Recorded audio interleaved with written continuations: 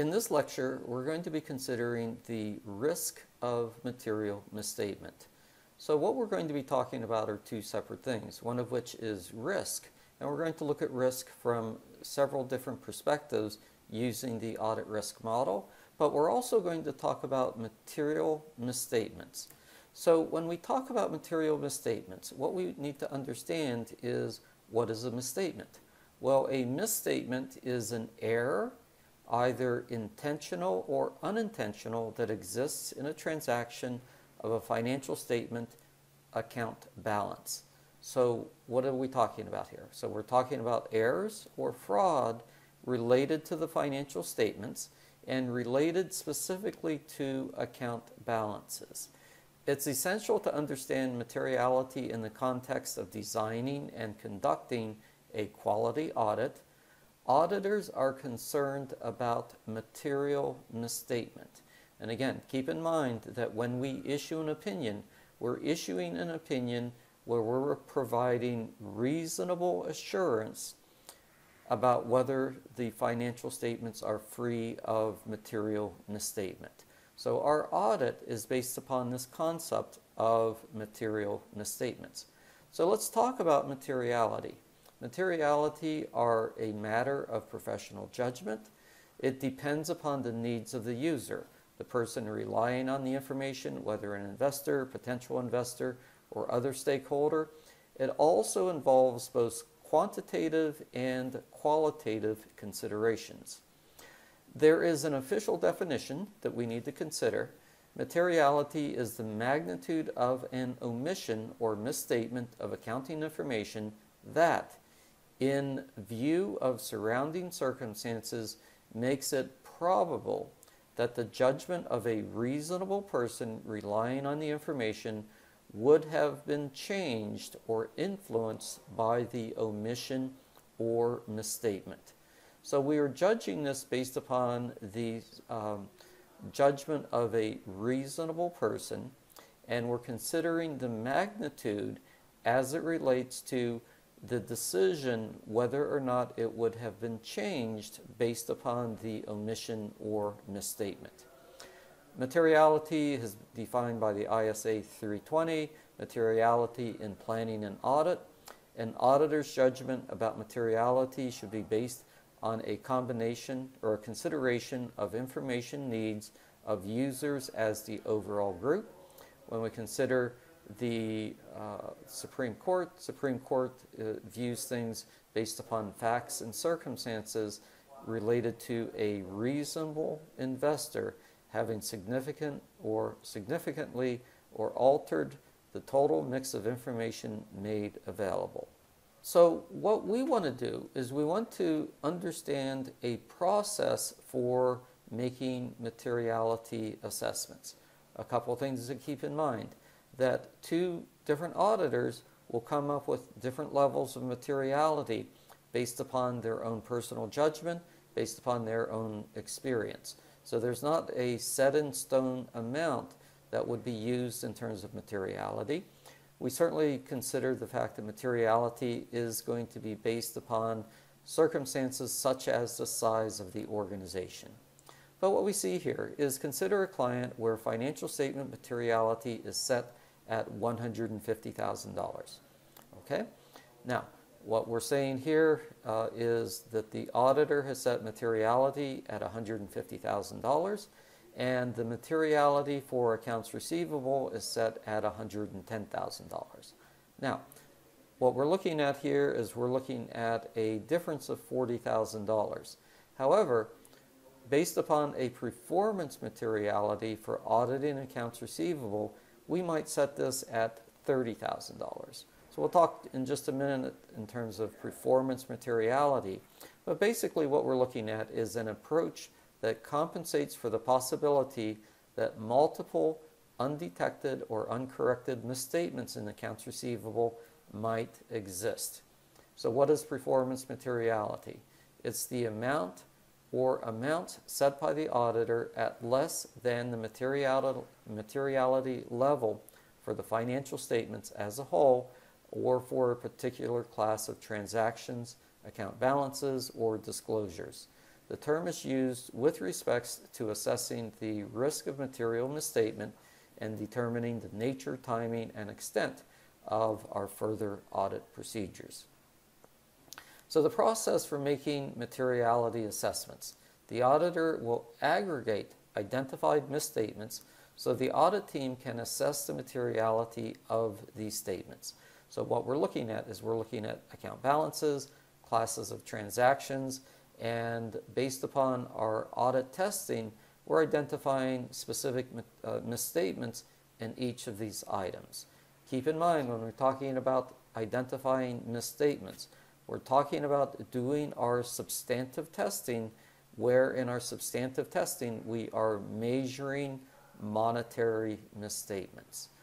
The document where misstatements are aggregated is often referred to as the Summary of Unadjusted Audit Differences, or SUAD.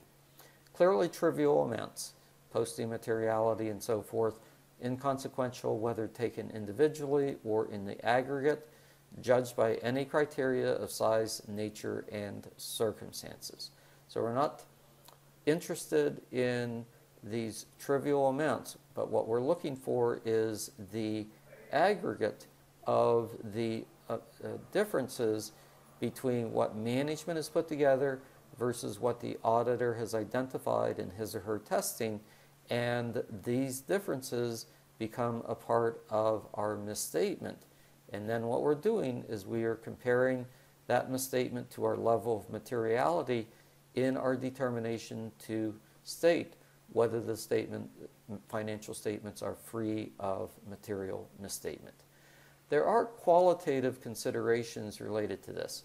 The auditor considers both quantitative effects, such as the dollar amount, and qualitative effects such as the reason when he or she is considering material misstatements.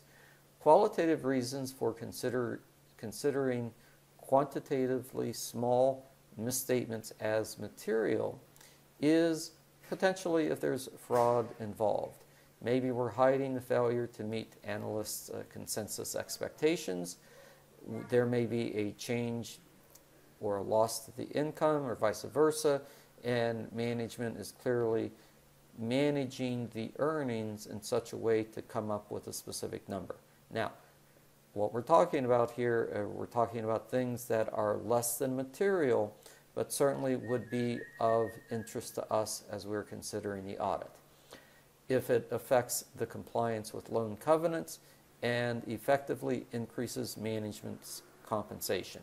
So again, what we're looking at here is we're looking at misstatements that are below a material level, but essentially indicates that management may in fact be manipulating or using another term, managing the earnings or managing the financial statement. When we consider these, uh, we, we consider these things, we certainly would absolutely not disregard these because we're not going to say, oh, well, they're uh, underneath our, our material misstatements, so these are, these are irrelevant. But what we're talking about here is considering these qualitative elements as we're considering material mistakes. So let's consider this from the perspective of the audit risk model. We've talked about the audit risk model in the past. Audit risk is the risk that the auditor takes that he or she is issuing an unqualified opinion when in fact there are material misstatements. We're never going to eliminate this risk, but the goal is always that we reduce the audit risk to a reasonable level. Well, we do this by considering risk in three specific areas. The inherent risk, the control risk, and the detection risk. The inherent risk and the control risk is what we're doing as part of the planning of the audit is where we determine the risk of material misstatement. Hence the discussion related to materiality is very important as we're considering these two elements. The final piece of this is the detection risk. The detection risk is the risk that the auditor will not detect a material misstatement. The auditor is responsible for the detection risk by developing the nature, timing, and extent of these audit procedures that are used to measure monetary misstatement. And the key point that we want to take away here is that when we are measuring material misstatements, we're doing this with our substantive testing that is a part of the detection risk process. The other testing that we're doing in terms of testing for the inherent risk as well as the control risk is where we are measuring the risk of material misstatement, but we're not doing the testing in terms of materiality. The testing for materiality is our substantive testing, and again, the nature, timing, and extent of our substantive test is based upon our determination of the risk of material misstatement. So let's talk about a couple of definitions. The definition for the inherent risk is the susceptibility of an assertion about a class of transactions, account balances, or disclosures to a misstatement that could be material either individually or when aggregated with other misstatements before consideration of any related controls. So a couple of key things here is we are considering inherent risk before considering the related control activities of management. But let's focus on the word inherent. Inherent is basically the state of being that we have in relationship to these transactions, accounts, asset groups, uh, whatever it is. And as we're looking at these elements, we consider the inherent risk. So the idea is what is it about this thing, this transaction, this account, this uh, group of, of, of assets that creates risk? So as an example, if we're dealing with cash, cash is inherently risky. That is the nature of cash. It's inherently risky. If we're dealing with asset groups inventory that is very small, very expensive, and easily transferable, there is an inherent risk specifically related to the fact that these items might be stolen. So again, we're considering the inherent risk without regard or before any consideration of any related controls. Control risk. Control risk is the risk that a misstatement could occur in an assertion about a class of transaction, account balance, or disclosure that could be material either individually or when aggregated with other misstatements. This will not prevent or detect and correct, that will not be prevented, detected, or corrected on a timely basis by the entity's internal controls. So we're basically saying here is the control risk is the inverse of the quality of the internal control structure within the organization. So as we are assessing the control risk, we identify where the risks are. We're identifying those risks based upon our inherent risk. We then determine whether or not management has implemented appropriate controls in relationship to the risk. So we always think of the relationship between risk and controls. So what is the potential bad thing that could happen? And the control risk is, again, is reduced if in fact the controls are in place. So in the control risk, we're asking the question, what is management doing to mitigate these bad things from happening. So based upon the inherent risk and the control risk, the combination of the two defines our risk of material misstatement. Once we've identified the risk of material misstatement, is we determine the nature, timing, and extent of our substantive procedures. So back to the audit risk. This audit risk model is a way that the auditor is actually able to manage the various risks in such a way that he or she is able to minimize the risk that the financial statements are issued and the auditor is saying that there are no material misstatements when in fact there is a material misstatement. The risk of material misstatement determines the detection risk.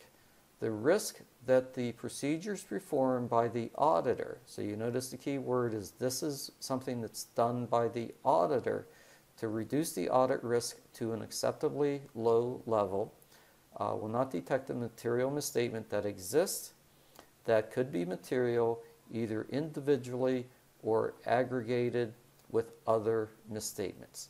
So the auditor manages detection risk based upon this concept of determining the nature, timing, and extent of these substantive procedures. And again, the substantive procedures are the procedures that we use to manage the or to measure the material misstatements in the financial statements. And we do this through the nature, timing, and extent.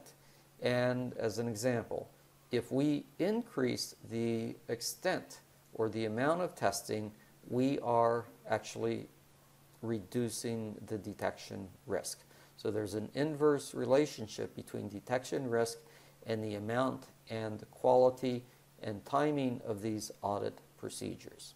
Okay, so this is in a very short video, we've identified materiality, we've identified this risk model, the audit risk model that, I, uh, that uh, determines the risk of material misstatement, and based upon that risk of material misstatement, we determine the nature, timing, and extent of our audit procedures, and these are the audit procedures that we're using to measure monetary misstatement.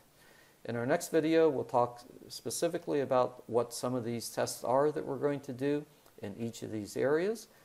So I thank you very much for your time, and I'm looking forward to continuing this discussion.